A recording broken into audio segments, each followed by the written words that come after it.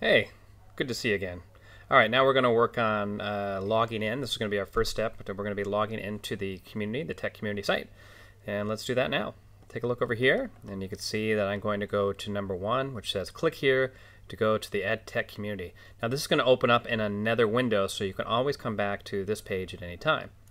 So I'll give that a click there, and this page is going to come up, tech.concordiashanghai.org. And right here is where you'll want to log in. Now you're going to use your regular login credentials that you've always used, the same ones you use for your email. So let me put that in right now. So that's michael.boll, and I'll put in my super secret password. I hit the login button, and it should log me in in a couple seconds here. And there I am. You can see that I'm logged in. Uh, you can see that little picture up there. That's uh, my Gravatar, and we're going to talk more about that about uh, two or three steps